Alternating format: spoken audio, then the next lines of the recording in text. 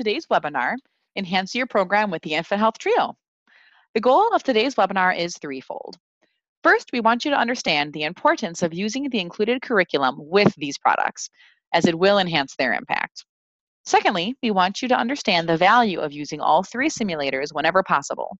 After all, discussion of drug abuse prevention often goes hand in hand with alcohol abuse prevention and child abuse prevention, and vice versa.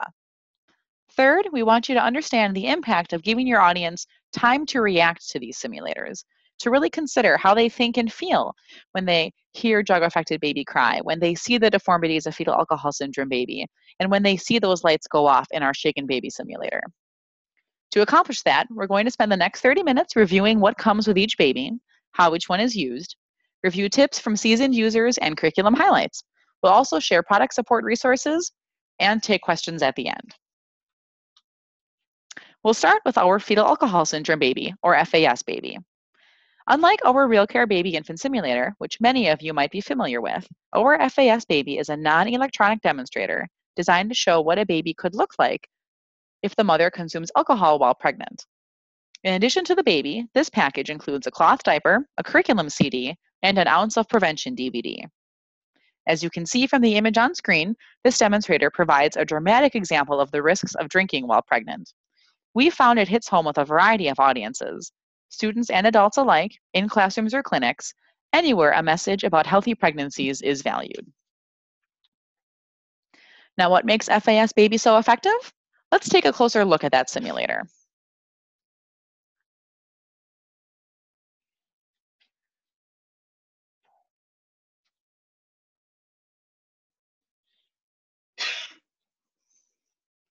Now, as you can see in front of me, I've got our FAS baby, and you can see right away it's a smaller size. It's actually 33% smaller than a typical infant. It's got a smaller head, smaller ears, widely set eyes, a flattened midface, an indistinct ridge between the nose and the mouth, and thinner lips as well. It's also got curved limbs and even webbed fingers. Now, again, we've modeled this infant to be as realistic as possible and reflecting all possible effects of fetal alcohol syndrome. Of course, real FAS babies might have some of these or they might have all, but we wanted our simulator to be as realistic as possible.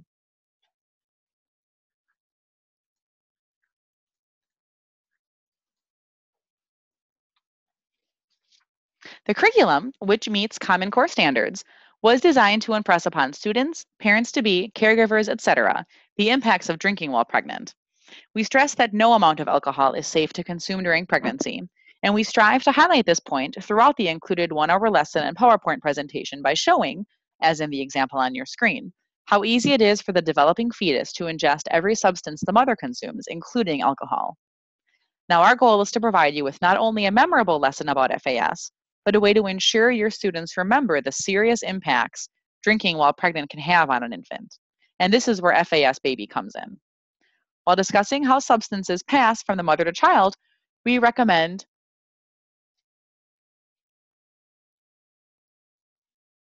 introducing FAS Baby, showing it to the class, and explaining the physical effects that you can see.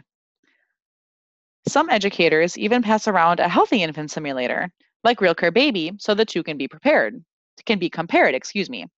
A 17-minute ounce of prevention educational DVD can be viewed as needed. Additionally, we've included a pre-test and a post-test that we recommend administering before and after your discussion of FAS, so you can gauge how much your audience learns from the lesson.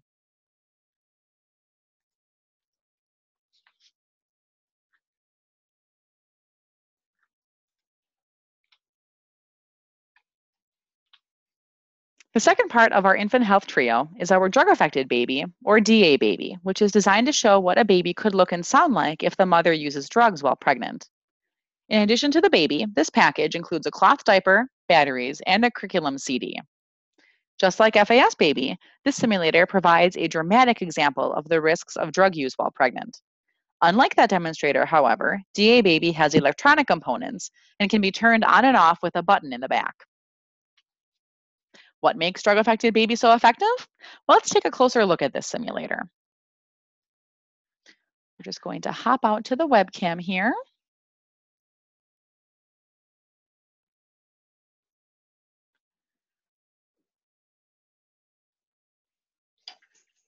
Now I've got our drug affected baby here in front of me.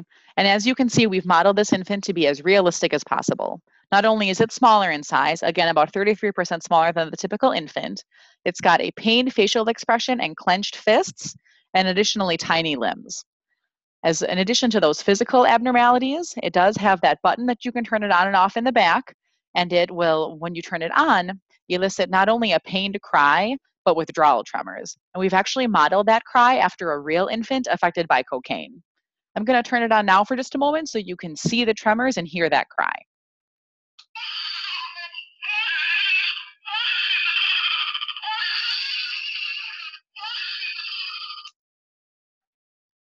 Now, of course, the included curriculum does include information on the impacts of drug use that you can't see, like cognitive disabilities and learning disabilities.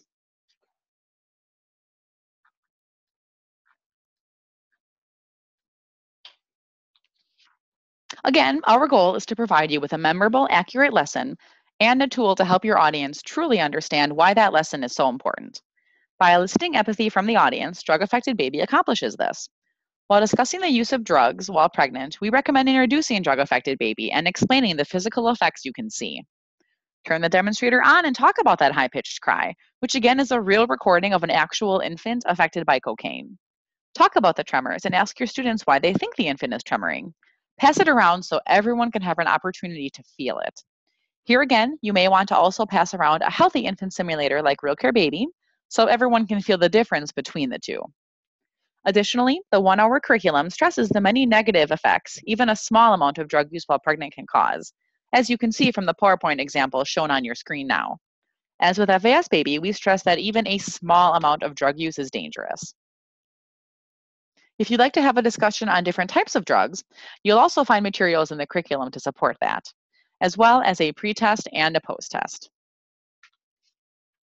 The final product in our infant health trio is the Shaken Baby Simulator, which was created to help increase the awareness of injuries involved in shaken baby syndrome and help reduce incidence of shaken baby syndrome through education. It's also an electronic simulator and turns on and off using a button in the back.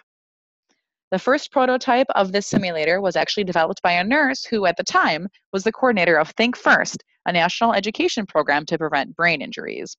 She also happened to be a licensed practical nurse working with a large group of neurologists and based this simulator on medical research of what happens physically to a baby when it is shaken. When this simulator is shaken, affected sections of the brain light up to illustrate when and where brain damage has occurred. Let's take a moment now to demonstrate how this works.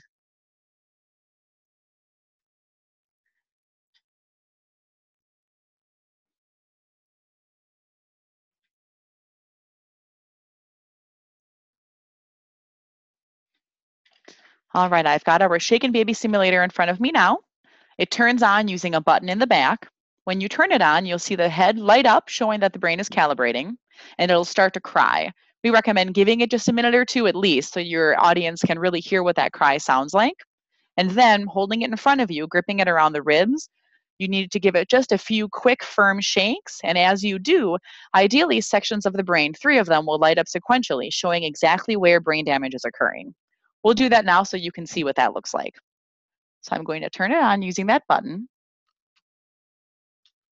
And you can see it lighting up initially. And then that cry starts. And so you want to hold it in front of you and give it a few firm shakes. And you can see the back section lighting up. And now you can see the entire brain is lighting up, indicating severe brain damage.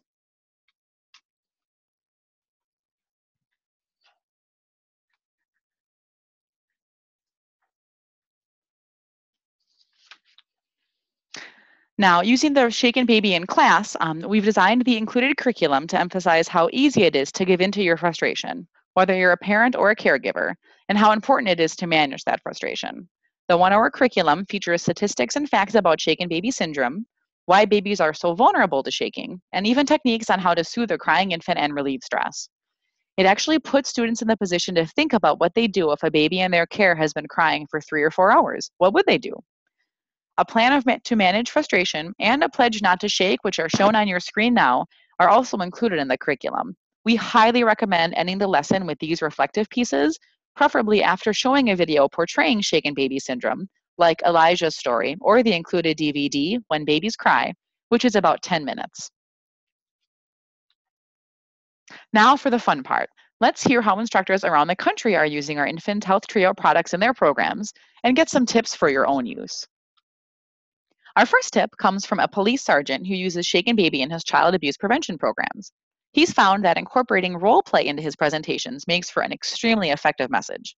For instance, every time he presents, he starts by pulling a couple out of the audience, weaving a narrative about them as new parents. While the audience is listening, he subtly turns Shaken Baby on and passes it to the female. When he begins to cry, he turns his attention to the male, peppering him with questions about paternity suits and child support. The audience, by this point, is fully immersed in the scenario when the sergeant turns back to the girl and asks her why she can't get her baby to stop crying. With the couple appropriately frustrated, he takes the baby and shakes it violently, pointing out how easy it is for that crying to get on someone's nerves. Of course, you can role play with anyone students, adults, professionals, young and old and can even invite a local law enforcement officer to your office or classroom. The more realistic the scenario, the more impactful it will be, as your audience understands how it takes only a moment of shaking to harm an infant.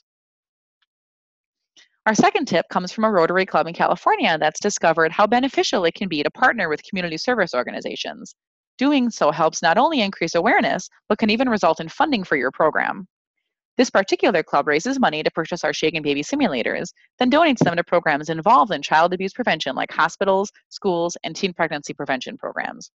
To raise funds for your own program, we recommend reaching out to service organizations in your area whose missions match your program's purpose to see if they might help sponsor your program.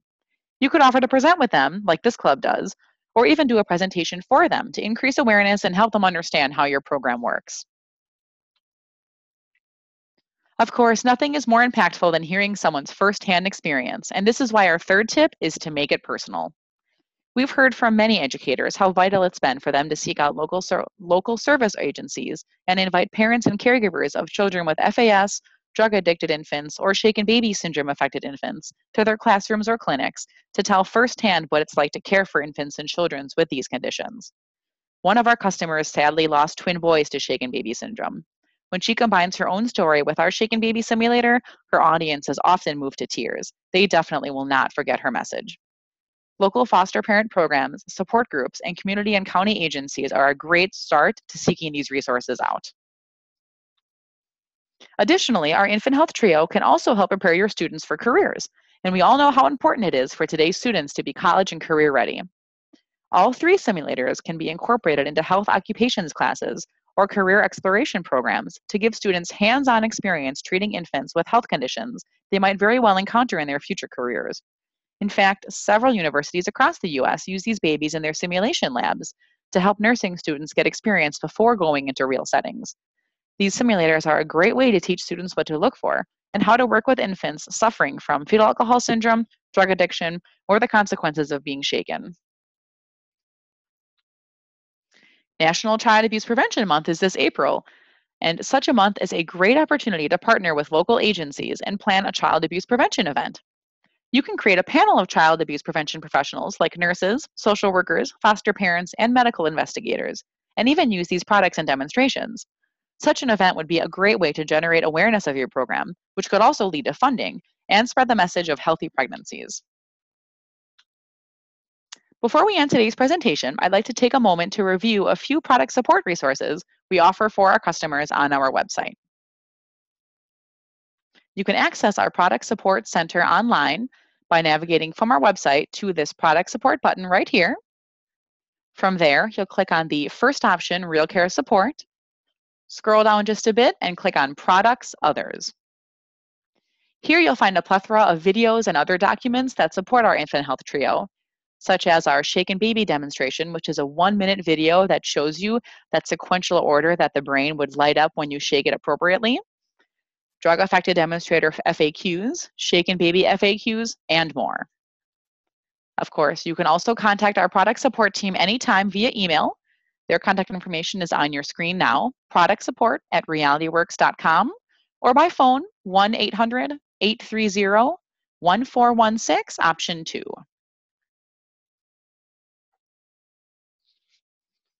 We're now going to open up the webinar to any questions. If you haven't already, please type your question into the questions and answers panel of your Zoom webinar window. While everyone's eh, taking the time to type in their questions, we do want to share two that our product support team hears quite often. The first one is what happens when I forget to turn off drug affected baby, which does happen.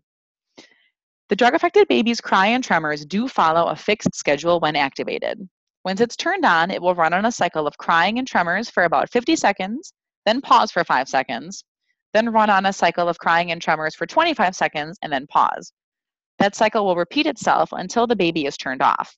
And if it's accidentally left on or activates accidentally, like if it's bumped after being put away, the cries and tremors do stop after about 20 minutes.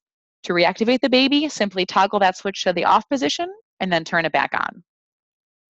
Another question our product support team hears quite often is what to do if all the lights go on at the same time during a shaken baby demonstration.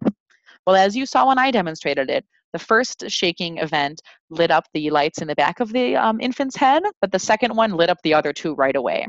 And truly, all it takes is some practice. The more you shake, uh, the more you use the baby in demonstrations and shake it appropriately, the better your chances are of getting those three area affected areas of the brain to light up sequentially. And of course, you can always go out to our product support site and watch that video to see exactly how it should be done. Well, thank you everyone who participated in today's webinar. If you have any questions or concerns, please feel free to contact us using the information on your screen now. In the meantime, this webinar will be posted on our website within a week and emailed to attendees along with a certificate of completion within the next few days as well. Thank you again and have a great rest of your day.